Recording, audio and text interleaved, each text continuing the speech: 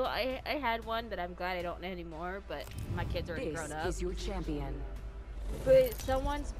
Oh fucking no!